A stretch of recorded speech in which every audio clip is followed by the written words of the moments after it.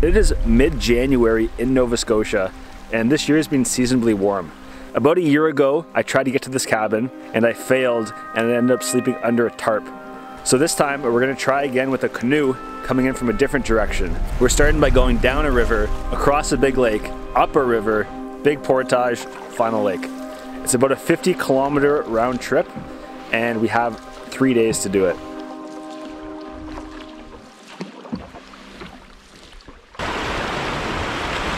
So the biggest thing, just watch your footing.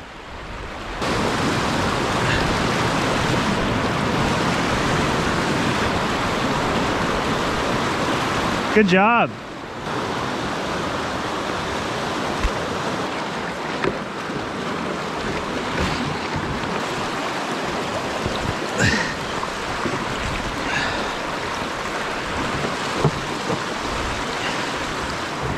Nice. I can jump in here. Oh, What was that? my phone's gone. No, Yeah. I got it.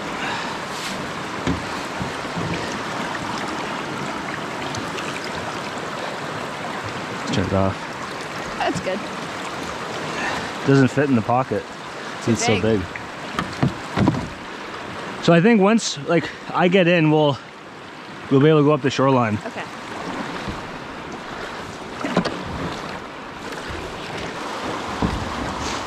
Yes. That wasn't hard.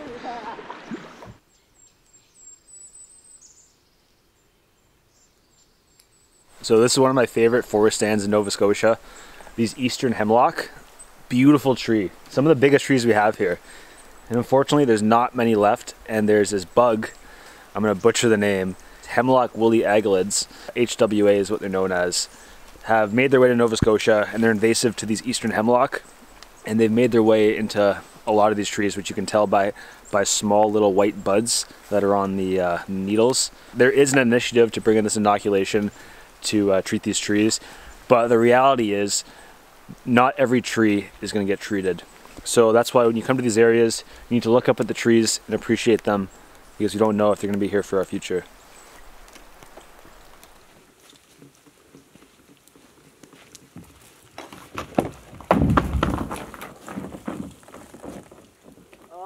Last time I was standing in this exact position, looking at this lake about a year ago, it was frozen over, but not frozen enough to walk on it, causing me not to get to the cabin. But today, a year later, a year-ish later, we've made it past the final crux. All right, it's getting dark. There's been an on and off light sprinkle. It's probably floating around zero degrees. It's been a long day, but we're gonna make it before dark.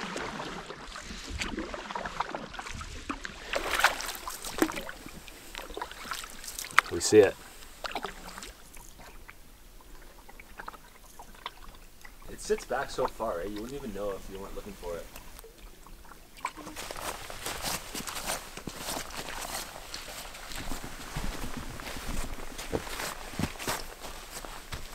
Wow.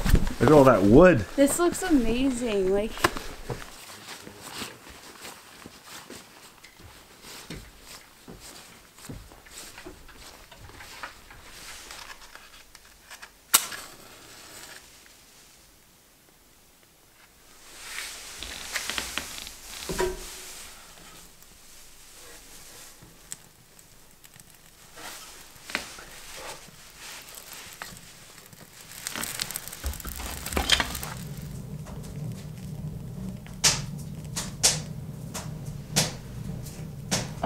me. It was such a good shot.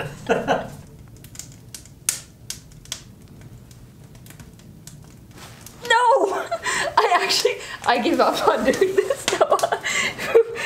I don't know why they're being so weird today.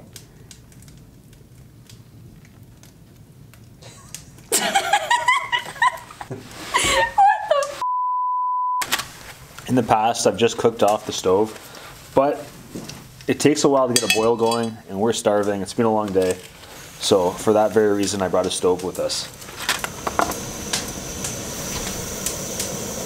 For dinner, we're doing packaged ramen, but including coconut milk, beef, cilantro, green curry paste. And we cannot forget the dehydrated mushrooms.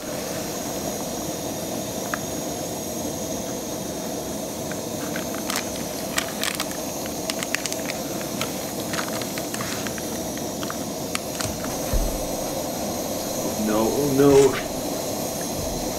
Ah! Ah!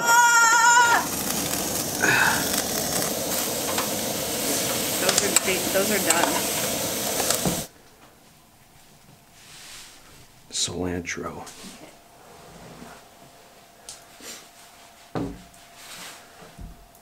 Okay. Let's dig in. Awesome day today. That's a big one. It was a big one. I'm stoked to be here. After all that.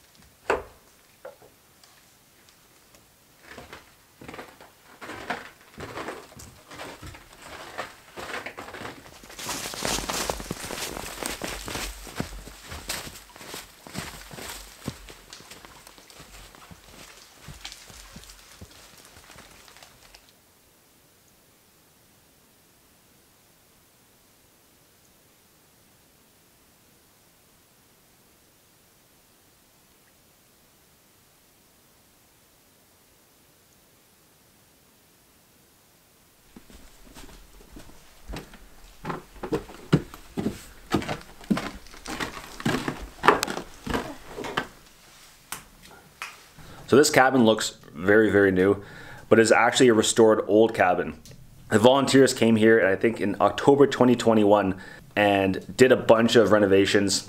They left a lot of the old foundation, but they built on that with new logs, new windows, and made this place look absolutely spectacular. But they actually left a note from the original cabin on the wall here.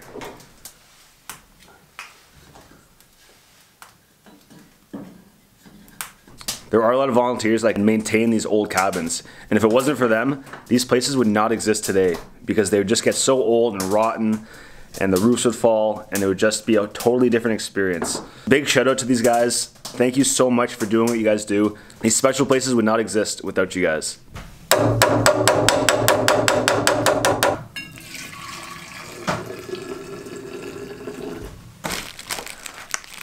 All right, these are our chocolate ball rations for the next couple days.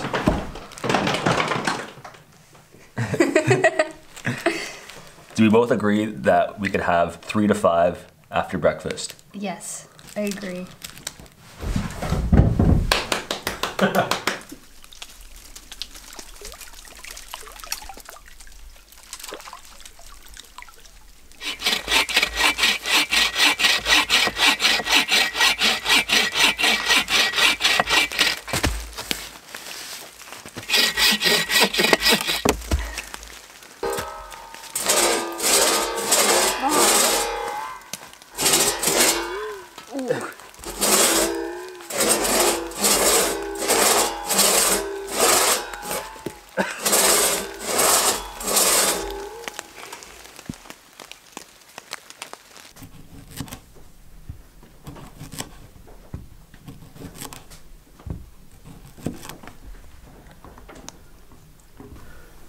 I just drooled onto a piece of salami. Stop.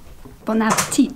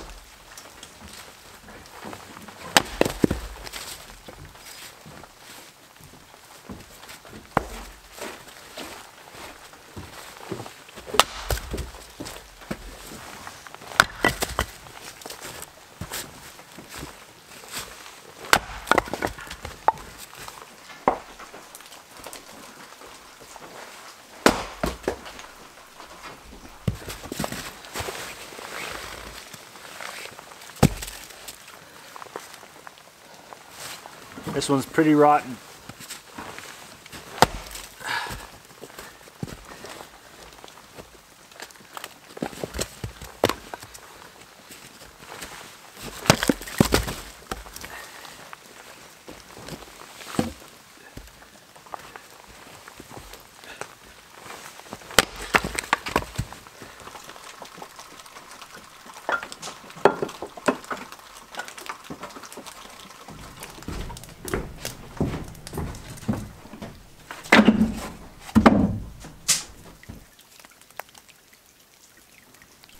Weather shifted a lot from this morning. It's about three or four degrees now, and all day, all the ice and the snow on the trees have been melting and raining down. Walking through the woods when it's like this, even though it's not raining, you get soaked. Now we have all our stuff drying on the wood burning stove, trying to dry all our gear for tomorrow when we head out of here.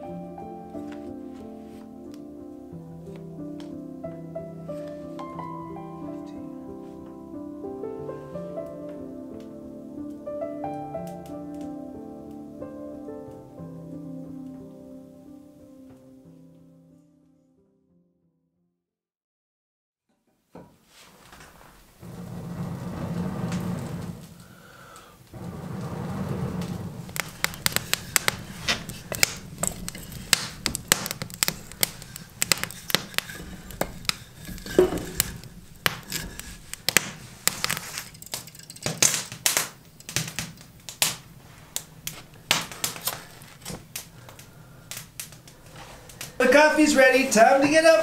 Time to start the day. Sweet. Thank you. Oh, sorry, you can't see me smiling at you? no, I can't see anything.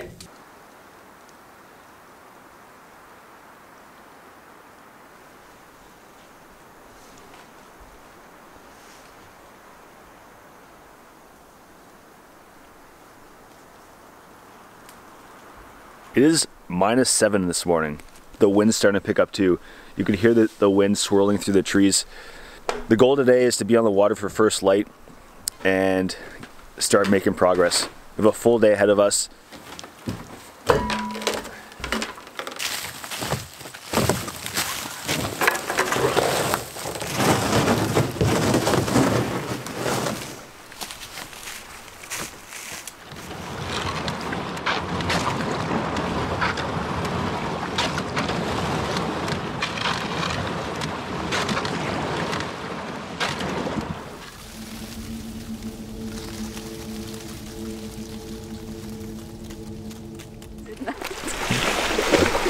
You're pretty cold, eh?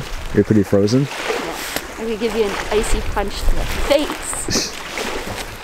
It was really hard to get the camera out. There's whitecaps out there and a strong headwind.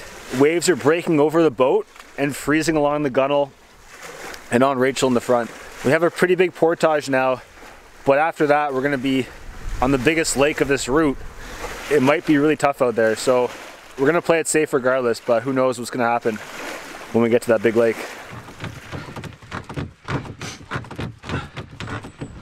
Question is, do you think we can go down the second one without getting you wet? Yeah, I mean, I'm wearing dry pants. Forward. Draw. Forward.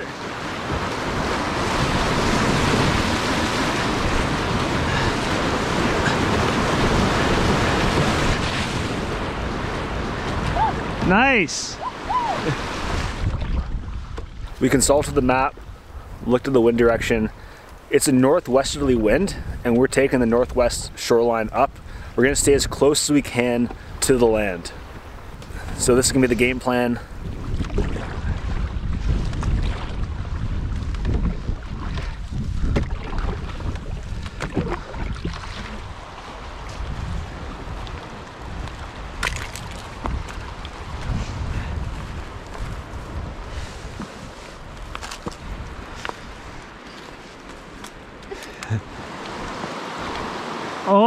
See it.